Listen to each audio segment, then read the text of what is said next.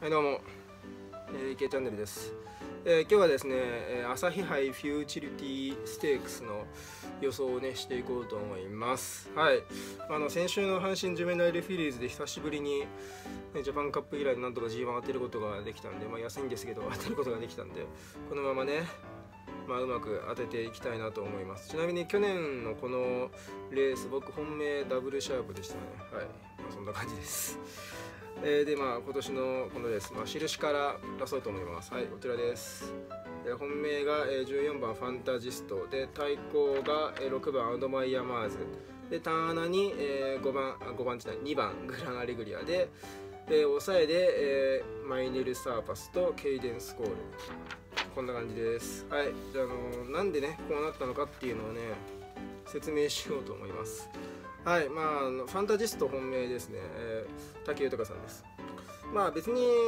この阪神戦六っていうのはあんま枠関係ないんでまあ有利不利ないんで別に14番っていうのは特にマイナス。まあまあもちろんそのコース的には有利不利ないですけどこの馬にとっても別にどどの枠が、まあ、外枠だからダメっていうことはないと思うんでっていうのとあとは重賞2勝してるっていうまあねまあ実績はこの馬1番なんですよね。でまあ走ってた距離1002と1004でマイル未経験なんですけど、まあ、別にこのレースは別にマイルの経験がものを言うレースかといえばそういうわけではないので、はい、でまあねこの馬別に後位から後位から速い足使えるんでいい位置つけて速い足使えるんで、まあ、安定してんのかなと。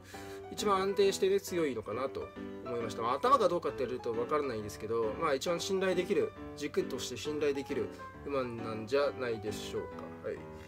で、えー対抗2番手がアドマイヤマーズです。まあ不安要素があんまないんでね。うん。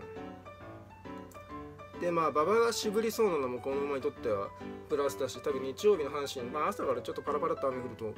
うんで、まあ、そんなパンパンの良馬場にはならないと思うっていうのもプラスだしまあ安定して強いと思います。で、え3番手にグランアレグリア、まあ、この馬が多分一番人気なんでしょうけどちょっと出遅れがね怖いんだよね、まあ、強いのは分かってんだけど、まあ、前走サウジアラビアも出遅れたのにもかかわらず一気にごぼう抜きでね勝ったからまあ強いのは分かってるんだよ。まあでもちょっと気性の悪さを徐々に出してきてるんでこういう馬っていつ弾けるか悪い意味で弾けるか分からないんでまあだといってもねあっさり勝つと思うんですけどね。まあまあいろいろと不安要素を上げまくってもなんかアーモンドアイみたいにあっさりとね語れるっていうのもあるんですけどまあでもそういうまあまあでもね、まあ、懲りずにこういう馬を僕はね疑っていこうと思います。まあちょっと強いとは思うよ。ちょっと軸にするのは怖いんだよね。出遅れでまあまあ内枠っていうのもあんま良くないしな。ていうこの馬にとってはね内枠っていうのはあんま良くないしなっていう感じです。まあ強いのは強いです。はい。で、えーマイネル・サーパスはまパワーがあってね。うん。まあそうそうそうそう。過去このマイネル・サーパスが負けた馬この馬を任した馬があの順当に勝ち上がってるんでっていう感じですかね。はい。でまあケイデンスコールちょっと久しぶりでねこの馬新潟に再ステークス以来でちょっとよくわかんないんだけどなんか気になるんで一応入れましたはい、まあ、こんな感じですはいというわけでえーボルネス高島のね、えーこの馬来ないっていう消し馬っていうなんか性格の悪いコーナーとね、えー、棚犬のね穴馬のコーナーをねはい見てくださいはい、どうもこんにちは。ボーネス高島です。はい、今回、リサイ G1 朝日杯のね、決勝馬を上げていこうと思います。はい、14番、ファンタジスト竹豊騎乗となってますけども、えーそうですね、このレース、割と人気どこを消すっていうのが僕の中で難しかったんですけど、うんまあ、一番そのね今後を考えた上でスプリント戦線に向かいそうなねファンタジストをこの距離も含めて消していこうかなと思うんですけど、まあ、タワー・オブ・ロンドン去年とね同じ KO 杯勝ちでやってくるわけなんですけど、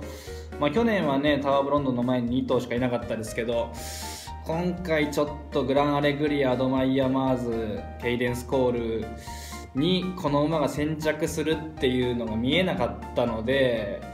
うんまあ、消去法的な感じでねこの馬を消すことになったわけなんですけどもまあね残りの3頭の今後の未来もちょっと期待しつつこの馬はここでは消しでとっていこうと思います。以上です。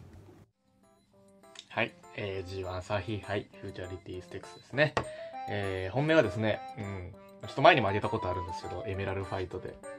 いきたいと思います。まあ、この馬が好きだったことなんですけれども、まあ、ちょっとしっかりね、あの、終いのね、いい足が使えています。えー、前走1008ね、まあまあまあ、高速馬場の東京コースなんですけど、まあ一応33秒1がね、前目につけて、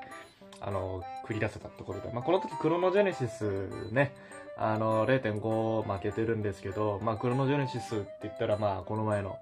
ジュメナイルフィリーズでね、いい走りしましたので、まあそれが指標になるのかなと思ってます。で、まあ1600はですね、まあ新馬勝ちをね、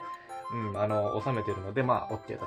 まああとはね、ちょっと石川由紀とジョッキーからあのビューイックジョッキーにあの乗り換わりしてるんですけれども、まあそうですね、あの僕の好きな馬ってことでね、まあ石川由紀とジョッキーからバトンタッチ受けて、ね、あの世界の名ジョッキーなので頑張っていただきたいと思います。はいというわけでよかったら参考にしてくださいね。はい。えー、じゃあ解明ですね。解明は、えーこちらです。はい生まれん4点です。ファンタジストから上げた4頭に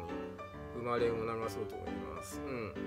まああのグランアレグリアに集中すると思うんでそれが3着だった場合っていうのを考えたら生まれの方がいいのかなっていうあの先週の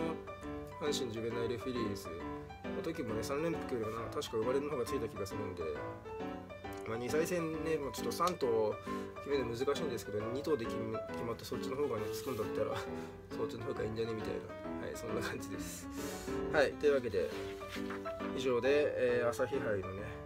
予想の動画になります。はい、以上です。ありがとうございました。